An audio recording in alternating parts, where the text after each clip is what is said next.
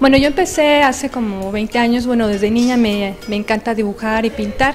Este, soy egresada de la Universidad de Guadalajara eh, en artes plásticas y ahora me dedico pues más que nada a experimentar y a, a- a recrear vivencias y de alguna manera plasmo esas ideas en dibujos, en bocetos y en pintura. Bueno, ahorita eh, fragmentos de un ocaso me enfoqué en bocetos, en dibujos. Eh, ahorita estoy utilizando mucho lo que es el grafito sobre papel.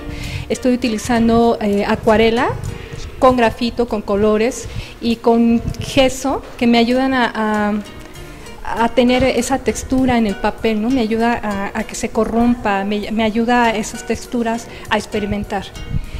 Yo siento que Fragmentos de un ocaso, eh, con la obra de Sergio Álvarez Becerril, también artista plástico, eh, hacemos como una fusión entre lo material y lo espiritual.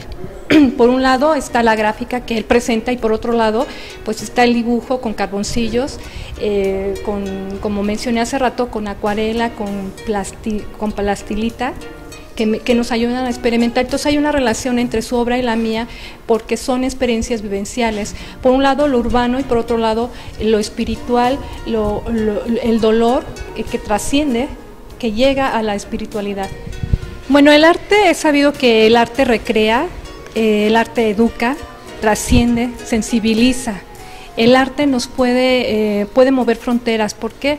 Porque de alguna manera sacamos todas esas emociones y, y las exterioriza- exteriorizamos en, lo que es la plástica. ¿no? Para mí eso significa el arte. No se puede vivir sin el arte. Todo mundo de alguna manera hacemos arte. ¿no? Yo creo que las amas de casa también hacen el arte, el arte de cocinar, el que trabaja y el que tiene amor hacia lo que hace, también es eso, eso es arte. Entonces es fundamental en, la vida y en la sociedad. Bueno, yo, yo em, como, como mencioné hace rato, yo eh, dedico esta obra a, a las inquietudes personales, ¿no? a que la gente, a los trabajadores, bueno, y, y en general, este, siempre nos movemos por emociones y a veces esas emociones nos ayudan y nos transmiten. Yo creo que un cuadro te puede transmitir muchas cosas, ¿no? Te puede evocar, puede eh, eh, trascender. ¿Por qué? Porque estás, estás trascendiendo al analizar, al recrear una obra, ¿no? Entonces, alguna gente se puede identificar con, eh, con, con alguna obra que está aquí expuesta, a lo mejor alguna pérdida, a lo mejor algún duelo o, o simplemente un cambio de vida. Entonces, sí hay un mensaje para los trabajadores y bueno, ojalá que les guste esta, eh, eh, esta exposición que está aquí en Fundación Pascual.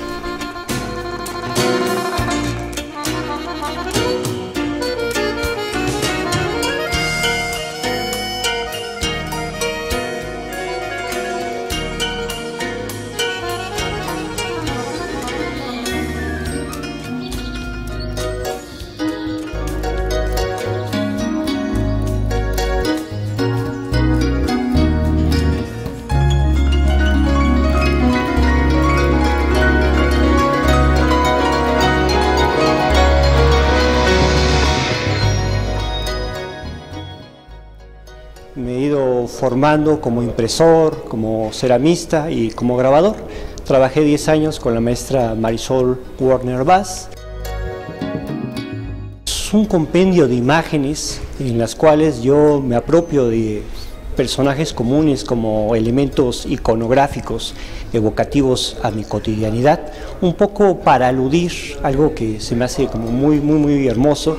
Eh, fue un subgénero que en el siglo XIX fue muy utilizado, un subgénero conocido como el subgénero de los tipos, que bueno, estuvo también muy ligado a una corriente literaria como fue el costumbrismo y que en el caso específico de nuestro país tuvo como especial importancia en la prensa mexicana de ese periodo. Nos quedan como reflejo de ello dos libros muy importantes, uno del introductor de la litografía en México, que fue Claudio Linati de Prevost, eh, titulado Trajes civiles, militares y religiosos, y el otro un libro también muy conocido llamado Los mexicanos pintados por sí mismos. En estos, y ese es el punto importante, tenían en el siglo XIX esta noción o esta necesidad de recuperar esos personajes comunes o específicos de ese periodo, que es algo que yo comparto y por lo cual aparentemente eh, trato de hacer algo similar, recuperar personajes comunes como elementos iconográficos. Hay, creo yo, por esa saturación visual en la que vivimos, una especie de barrera que nos ha robado esa facultad de observar al otro.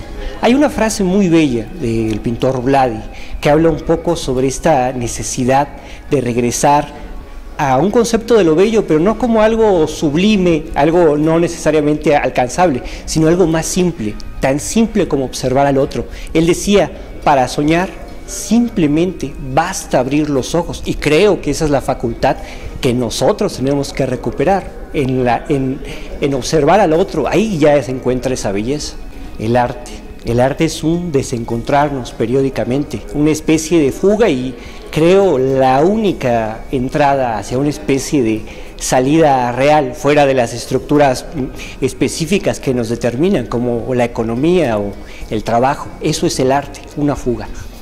Bueno, pues eh, yo los invito cordialmente y me agradaría mucho verlos aquí porque en el fondo yo he pensado, y, eso es lo que se ve en mis imágenes, en retratar a muchos de ustedes, ¿no? en tener esa posibilidad de los trabajadores, de los trabajadores, porque la mayoría de mi obra pues son este, vendedores, son franeleros, es gente, trabajadores de toda índole. Eso es lo que, a lo que aluden mis imágenes.